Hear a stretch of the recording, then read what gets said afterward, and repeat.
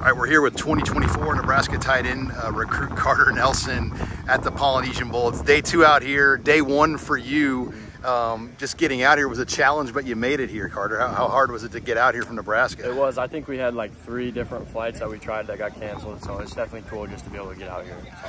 Yeah, you played in the All-American Bowl in San Antonio. You're here at the Polynesian Bowl right now. Uh, what What's the difference you've seen just between the two thus far? Um, kind of the position I'm playing. Uh, definitely kind of playing something that I'm more a little used to, but not quite used to the third level. So that's gonna be something I need to work on a lot. You were a late add onto this game. How, how did that all come about? Where you were invited as a late player to the game? Uh, just kind of out of nowhere, they texted me as like, "You want to play in the game?" And I was like, "Well, I'll see," because I got a couple basketball games because those were hard to miss for me. But uh, I ended up making the decision to come out here because this is a once in a lifetime opportunity to be able to learn about the culture and all that yeah, just um, you've only been out here for a day, but just coming up here to the North Shore, seeing like really a lot of the island already. I mean, what, what are your opening thoughts of just being out here? And, and it's, it's, beautiful. Everywhere you drive, you either see the ocean or a mountain, so it's definitely a really cool. What about Dylan? You, you, get a chance to play with Dylan Raiola here at the game, um, coming to Nebraska. You probably have never really worked out with him at this level. What's it been like being with him for a practice already? Uh, so far, it's uh, been fun. I like the way that he operates so far I haven't been able to see much, but I'm excited to see how he keeps progressing. So.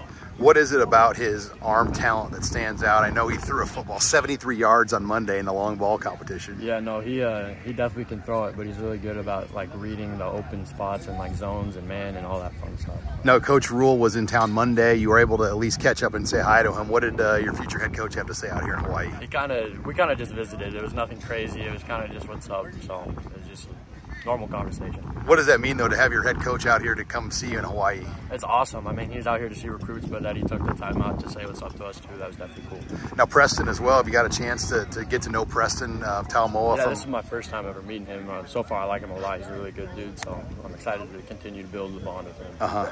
What about just the game and, and what this means to the culture here on the island? No, it's awesome. So far, I haven't got, I've only gotten a little taste of what they do, and I'm just excited to like learn more about it, so that way I can understand. And this is your second uh, week now playing 11-man football. Yep. Um, how big is that for you to to get a to used to 11-man football? You never played it before. Yeah, no, it's big. I didn't realize like how much of a difference being having more layer, layers to a defense would be running routes and stuff. So I'm definitely getting used to that. So.